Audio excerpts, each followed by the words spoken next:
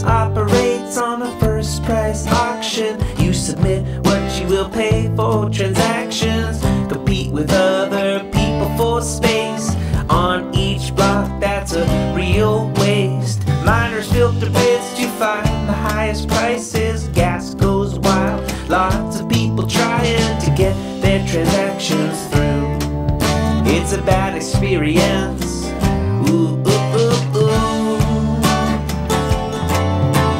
Is why, way back in 2018, Vitalik Buterin proposed EIP 1559, which has one goal to make gas fees more predictable. It also has other benefits, oh yeah, increasing capacity when congestion is bad. Block size will essentially double. Hopefully, this will fix some of the trouble.